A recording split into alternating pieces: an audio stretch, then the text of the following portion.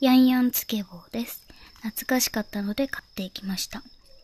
クイズ、つける、トッピング。はい、開けていきたいと思います。わお。知って楽しい日本の一年クイズ。願い事を書いた短冊を竹に飾るのは七夕ですね。はい。こうやって親指で温めると出てきます。文字が。じゃん。見えるかな？七夕7月7日地域によりますって書いてあります。はい。では、わ、すごい。あ、ちゃんと一個一個にもクイズが書かれてるんですね。ゆつのお風呂に入る日は、当時。はい、いただきます。チョコにつけて、トッピングをする。いただきます。うん。懐かしい。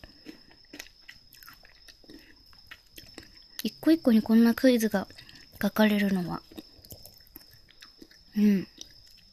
初めて見た気がします。うーん。うん。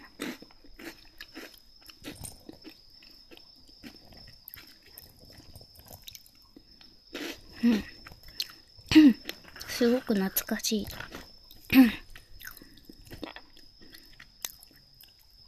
サンタのソリを引く動物はと仲いい？ちょっと飲み物がないと 詰まります。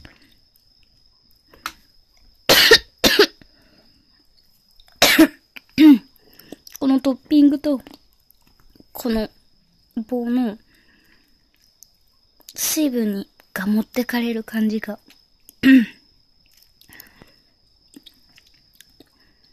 トッピングが喉に突き刺さっ いただきます。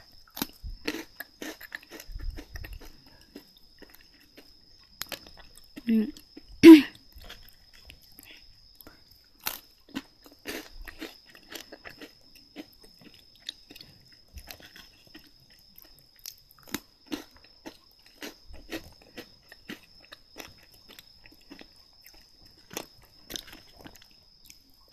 うん。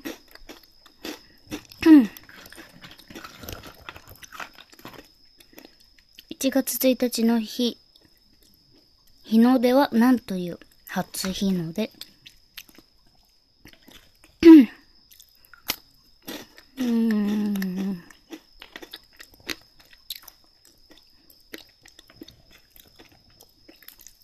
うん。